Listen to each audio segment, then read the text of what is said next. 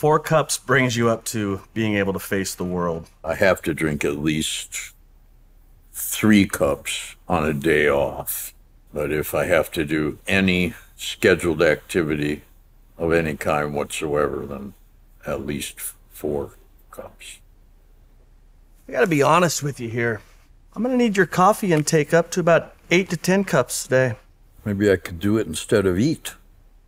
I think that's a wonderful idea. Well, yeah, I can. Uh, I could try to drink eight, ten cups a day.